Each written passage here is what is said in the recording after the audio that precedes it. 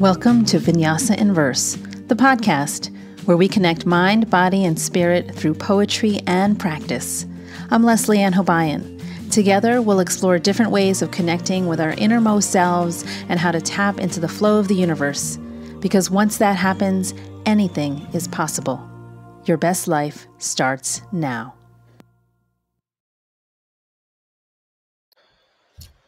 Hello, loves. Welcome to another episode of Vinyasa in Verse. Hope you're doing great today. It's a beautiful day or night, depending on when you are listening to this. Um, so, we are here with a new episode, and I am taking a cue from Hafez and his great oracle of poems. We're going to put it up to the mic. And This is the poem that has come forward to start our episode. It's called We Might Have to Medicate You. Resist your temptation to lie by speaking of separation from God. Otherwise, we might have to medicate you. In the ocean, a lot goes on beneath your eyes. Listen, they have clinics there too for the insane who persist in saying things like, I am independent from the sea. God is not always around gently pressing against my body. that makes me laugh because the there are clinics there for the insane. It's like this idea that we are separate from God is insane, um, according to this poem, according to Hafez. And I just I just love this this line. It's just Listen, they have clinics there too for the insane who persist in saying things like, I'm independent from the sea. God is not always around, gently pressing against my body. It's like, no, no, God is everywhere. God is inside of you. You are part of God. It's all like the separation is not really happening, it's not a thing. It is uh, very much an illusion. And so what does that mean for you in terms of your life and how you live it and in how you seek out life's purpose? Um, these are some questions that are coming up for me from this poem. I just like we have we might have to medicate you. I feel like that's Daniel Ladinsky's take on things. Um, and I just I just am so amused by that um, but yeah it's about it's about knowing that we are divine. We are connected inextricably connected with god. Whether you consider god as this um, external being source um, or you understand yourself to be also part of god to be part of source it doesn't matter. It's we're all it's all connected. It's all like you know linked up that the idea of separation is really just an illusion. It's it's it's an illusion for us to try to grasp our existence as human beings and to say, all right, well, I'm here on the planet in a three-dimensional body, a human body, separated, quote unquote, separated from God. How do I operate? How do I move through the world? What is my life's purpose here since I now suffer from that separation. Um, so yeah, so just some things to to ponder upon. Now, I want to admit from the get-go that my brain is a little less clear today. Uh, the other day, I well, yesterday I had a very massive migraine that I was wrangling with, and it lasted all day. And I was thinking the whole time, like, hmm, what is this about? What is the message that my body is trying to tell me? And I listened for it as painful as it was. And I think that there is another level of growth that's happening within me that my body is trying to keep up with. That the growth is happening so rapidly that the body's like, whoa, hold on. The container isn't quite expanding as quickly as you are. So, whoa, horsey. and so I think that that pressure in my head was me growing you know my my spirit soul self growing my inner light my divine light growing and pressing up against the physical container of this body finding a way out It was not pleasant.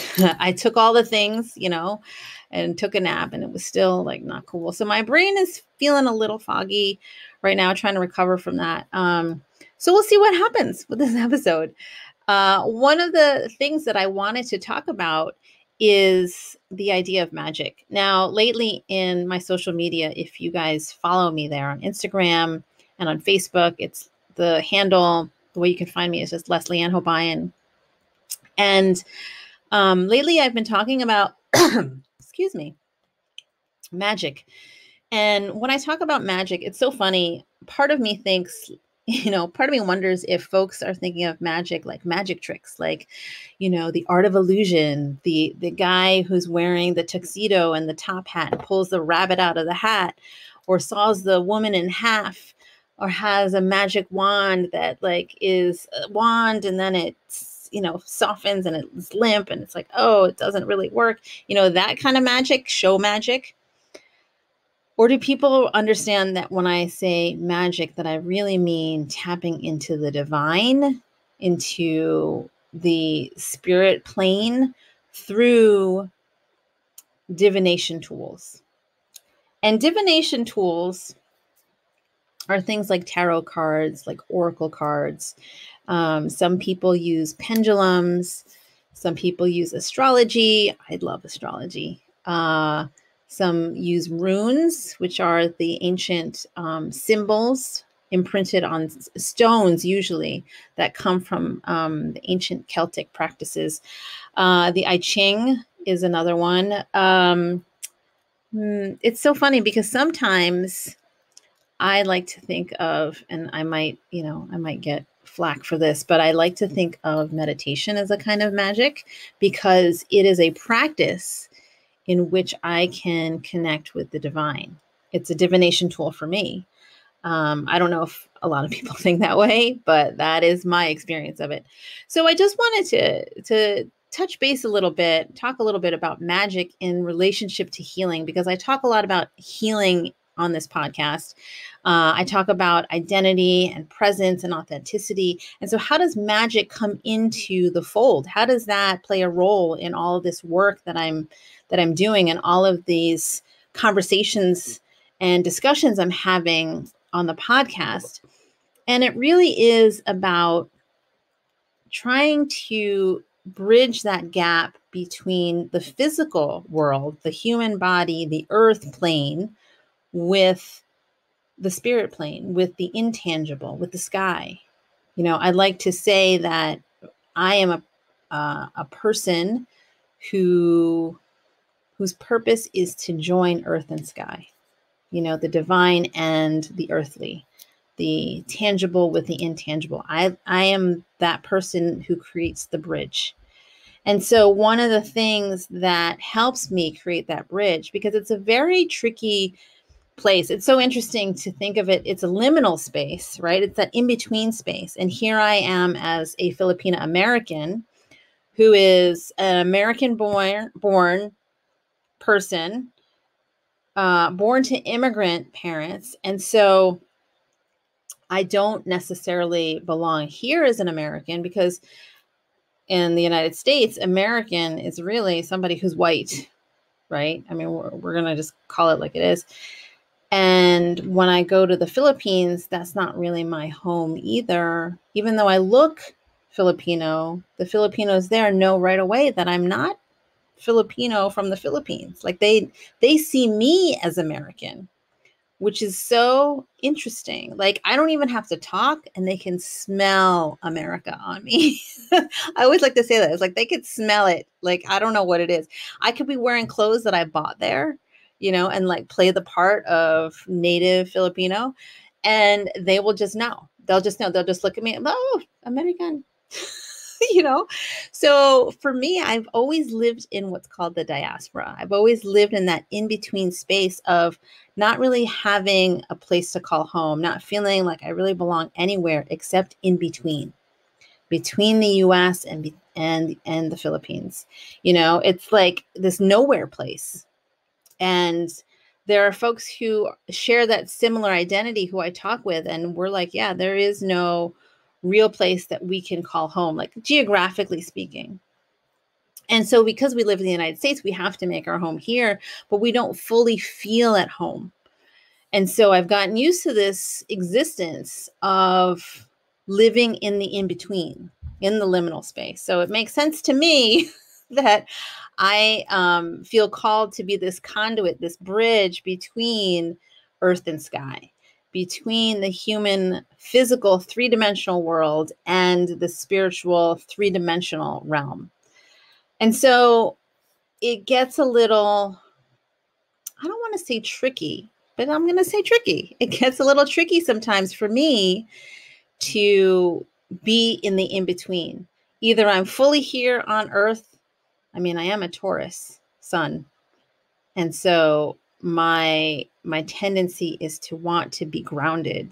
If Taurus is an earth sign, very into physicality, into material, into textures.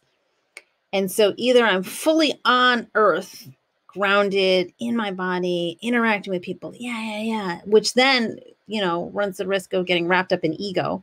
You know, ego's like, oh, look at all these things that people want us to do. Look at all the expectations. Look at all the accolades that we're supposed to want to get. This approval that we want to get when really higher self is like, we don't want that. Ego, stop getting yourself wrapped up in the earth stuff. You know, so that that's what happens.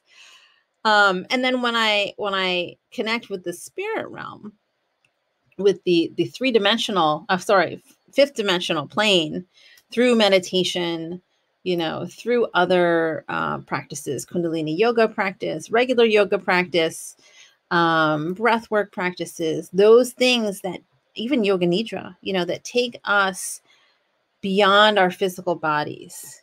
Sometimes I just go and I am not in my body. I just go somewhere, you know.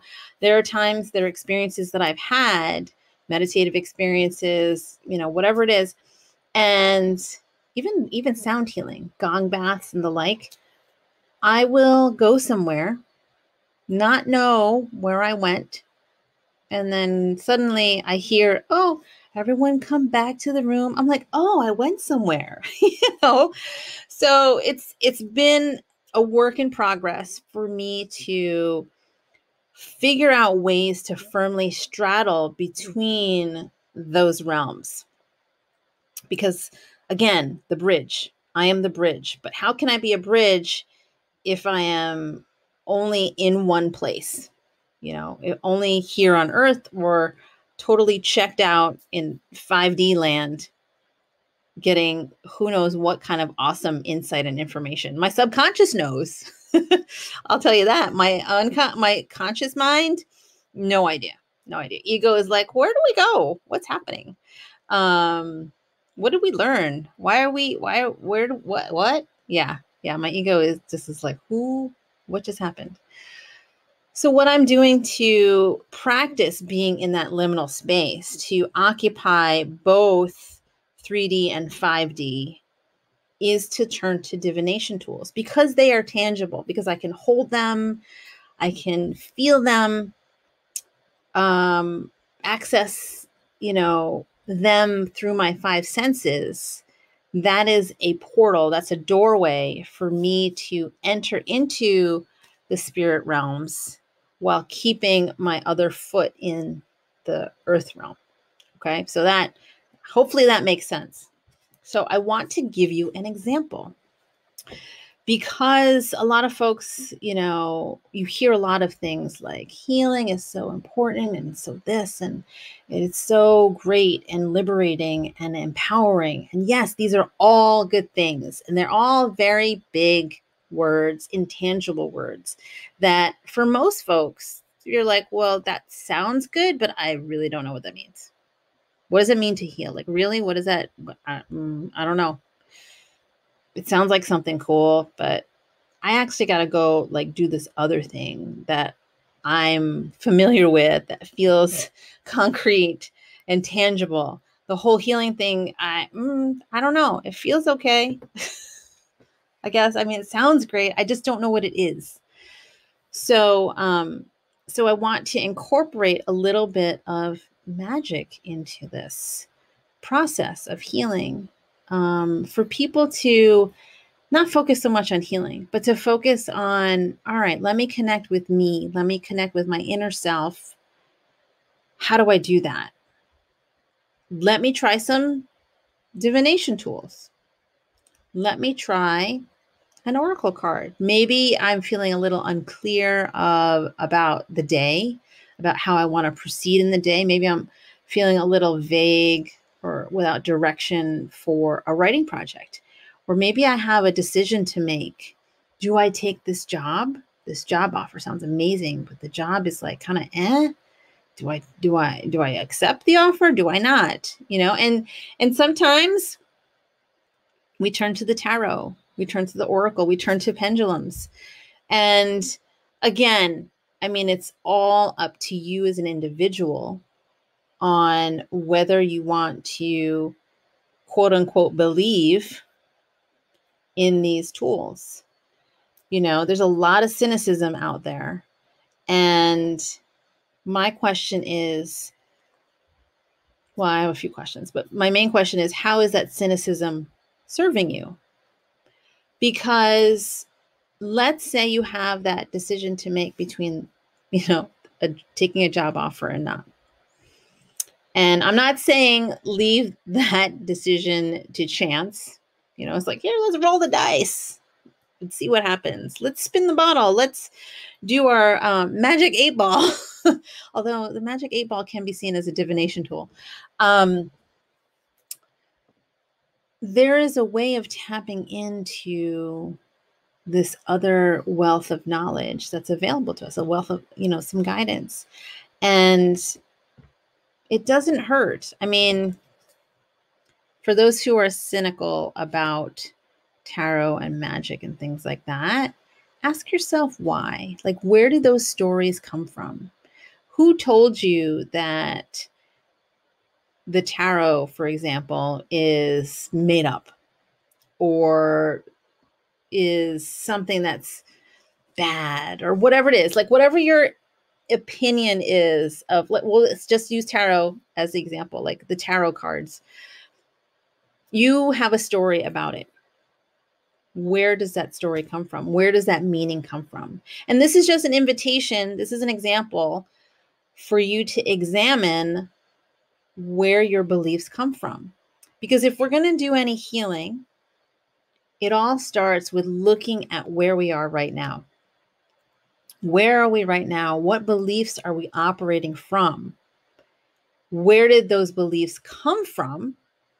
Because they came from somewhere. You're not born a baby with beliefs in the bassinet with you, if you know what I mean, right? The people around you, the people who raised you, caregivers, teachers, adults, they all have their stuff that they are sharing with you, whether intentionally or not. And so, as a baby and a toddler, you are absorbing those things, and those limiting beliefs are, or any beliefs, are being formed. And so, we take them as automatic truths. We blindly just kind of follow them and don't even question them. So, my, my invitation now is for you to pause and ask where does my belief about divination tools come from. We'll just take it as an example because I'm not going to say, oh, pick a belief, any belief, because you're going to be like, well, what, where do I start? You'll get overwhelmed and not even know, like, okay, what is a belief? What's truth? And then you start going into some existential crisis. And I don't want to trigger that at all. I don't want to have that that happen to you. So let's start with one question. How do you feel about divination tools? How do you, how do you feel about or uh, tarot cards? And you can write that down and then ask yourself, where does that story come from? Where does that belief come from? Is it something like a distant aunt may have said, like an offhanded remark when you were one day playing with some tarot deck that you happen across at some garage sale or whatever? Oh, don't touch that. That's evil. you know, that's the devil. If that great aunt, you know, that distant aunt said that, you know, where does she get that? belief. Tarot cards are not evil, only if you believe them to be. Everything is neutral. right? It is us as individuals, as humans, as flawed humans, who assign meaning to things, whether it's objects like the tarot or results and outcomes of things that, um, you know, actions that you might have taken or, you know, decisions that were made, results or outcomes from something that you had. Like, so for example, um, submitting work to a journal, maybe it results in a rejection. They declined your work. You can create meaning around that as a personal thing like oh my god they suck because they don't like my work. I can't believe they don't like my work. My work is so freaking awesome. How could they not like my work? Or you could read it as well that was not a home for my amazing work. Let me i've been redirected in another to to point in a different way to maybe try submitting to this place you know, here I've got information. Okay, I'm not going to submit work to that journal because we're not a good fit. So let me go look for another one. You know? Or you could just be like, okay, well, maybe poetry is not my thing and I got to write nonfiction instead. You know, it's up to you, it's up to us to decide what meaning we want to assign things. We have that choice you know? And we forget that all too often. So let this be a reminder you have a choice in how you create meaning from anything in your life. As long as you can feel that inner truth resonating inside of your body, follow that. Follow your heart, follow your intuition, and create meaning from there. Don't just create meaning like, you know, some bullshit thing like, well, they they think that I'm just too good for them. You know, that journalist they think that I'm too good for them. That's ego talking. Now you need to make that distinction, okay? You know when you're totally full of crap.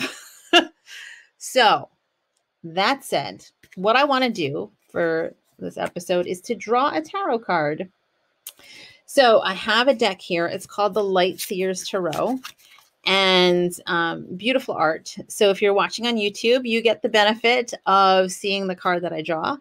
For those that are listening on the podcast, well, you're just going to have to pop over to YouTube, skip to whatever the minute mark is, probably around 22 minutes, maybe 30, depending, um, to see the tarot. image. The artwork is beautiful, um, and the and the person who made these cards is go, goes by the name of Chris-Anne. So amazing stuff. So when you are um, turning to the tarot, usually you ask a question before drawing a card because you want you can't just like draw the card and be like, oh, okay, like you're setting up a meaning.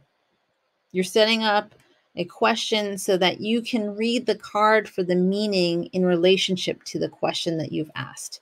Just pulling a card really doesn't do anything. You just pull a card. Oh, great. Now, how am I supposed to read that? Like, what meaning am I supposed to make from that? Well, you didn't ask a question. So who knows? Could be anything, right? I just finished saying that you can make meaning out of anything. Um, so for today, let's ask the question of Hmm. Let me think. Let me think. What? Hmm. I gotta think of a question. It's so embarrassing. I'm usually good at preparing a question ahead of time with my tarot or coming up with one right away. But I told you my brain is a little foggy from that migraine. So the question I ask for today, for to with yes, for today, is what am I not seeing on my path to healing? What am I not seeing on my path to healing? Okay, so I'm just going to draw a card. Usually I have the cards spread out across the desk or the table, and then I feel for any intuitive hits. But this one, I'm just cutting the deck and picking the one off top and I've got the Nine of Cups. So the question is what am I not seeing on my healing journey? So we look at the little guidebook, Nine of Cups. And for those of you watching on YouTube, here's the card. Look at this beautiful artwork. And let me read what the guidebook says. The universe is gifting you your desire, choosing joy, manifested dreams, gratitude, and abundance. So, what am I not seeing on my healing journey is joy. You know, for me, possibly, because this healing journey is a lifetime. You know, we move in spirals and there's so many layers of healing. Like, yes, I feel awesome. I feel amazing. I feel like, hallelujah, I'm healed. But I know that there are even more layers to work through to allow for them to peel away and to heal in order to become the the most ultimate brightest authentic highest self version of me ever right? But there's so many layers so my healing journey is continuing. But what i'm not seeing is joy is abundance. Choosing joy lots of gratitude and so maybe perhaps what i can read from this is that i'm too serious in my healing journey you know, I gotta heal, gotta heal, gotta heal, which is so funny because I have created this really fun free writing workshop called Writing Magic that I'm so excited to um, to hold and host. And for those of you that are listening, it's going to be on Thursday, August 12th at 12 noon Eastern Time. If you want to join, um, it's totally free to do. Just sign up um, at the website that's in the show notes it's suryagian.com slash writing hyphen magic. Easy enough, right? And it's just an hour and a half where we're going to play around with some writing prompts, some tarot cards, and just generate some some fun because we all need that. Everything's so serious. So let's have some fun. Um, but I'm going to read what the what the guidebook says about the Nine of Cups. This is a card of abundance and happiness and is often fittingly called the wish card. Oh, I love it. What have you been wishing for? Allow yourself to experience how fulfilling this journey can be and fill your life with all the laughter and bliss needed to spur you into the next phase of your happiness. Take stock of all that feel, all the feels that are surfacing, and remember to practice gratitude for the manifestation of your dreams. The appearance of this card in your spread is an auspicious message of prosperity, harmony, and getting what you desire. What you have been working toward is coming to you. So enjoy life's pleasures and sink into the awe and wonder of a joyous heart. Hmm. And here's a little, I guess, mantra I open my grateful heart to the gifts that are coming my way. Oh, I love it. So, what am I not seeing on my healing journey? All these gifts that are coming from the periphery. You know, sometimes I'm I'm on my uh, this is what I imagine. I'm on my healing path, and my healing journey. It's a it's a literal path, and I'm just focused on the path.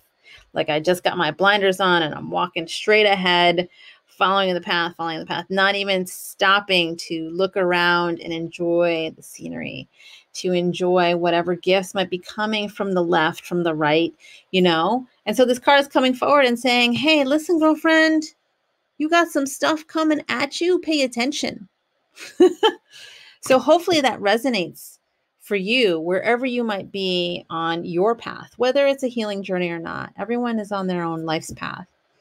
And so use this card as a cue to pause to look around and say, hey, there is abundance around me. To be open to receive whatever might come your way that you don't even see coming a mile away.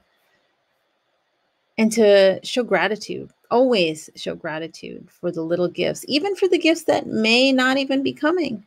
Just to be grateful for the breath that you have. And that's all. And that's it. That's that's tarot. You know, it feels so good, at least for me. So I hope that with this um, episode, you're able to think a little bit more about how magic can enhance this journey of healing, of revising the versions we currently are and letting those layers peel away so that we can be even more authentic versions of ourselves. And letting the divination tools of tarot or oracle, crystals, pendulums, meditations, sound healing, let those assist you on your journey. They're not necessary, right? But I don't know about you, feels good to have help. You know, I am not I am done with being on the struggle bus as a marker of strength, as a marker of like, well, I can do this myself. Self reliance is awesome. I am strong, and that is that. Mm-mm, I am done with that. Like, I'll be strong, cool. But you know what? If I got help, if I got help from community and from people, and I got help from divination tools, sign me up because we are so much more powerful when we work in community, when we work with tools that can help us. And why would you want to work at half power, like half mast, half, you know, like half anything? Don't you want to be full? Don't you want to express the fullness of you? You want to be loud and amplified and freaking awesome? Grab all the tools you know can help you radiate. Right? Why would you leave that? Why would you leave that to the side? I wouldn't. So that's my invitation to you, my friends. I hope that feels like you've got some better understanding, some insight on how to use some tools that might feel a little unfamiliar. And hopefully you'll try it out. Cool? Okay, so I'm going to read a poem from this is like becoming my most one of my favorite books is The World I Leave You Asian American Poets on Faith and Spirit. And every poem that I've read in here on the show has been just what I needed. Um, and so I'm going to do the same thing I did with the Hafez book and just kind of randomly filter through. And, ooh, which one do I read? Okay. This is by Shin Yu Pai. It's called Burning Monk. From the remains of his cremation, the monks recovered the seat of Thich Quang Duc's consciousness, the bloodless protest to awaken the heart of the oppressor, offered at the crossing of Phan Dinh Phung and Le Van Duyet, doused in gasoline and immolated by four meter flames, the orange robed Arhat folded in the stillness of full lotus, his body withering his crown blackening, his flesh charring, his corpse collapsing, his heart refusing to burn, his heart refusing to burn, his heart refusing to burn. Hmm. May your hearts refuse to burn. And that, my friends, is our episode, and we will close it as we always do. The divine light in me bows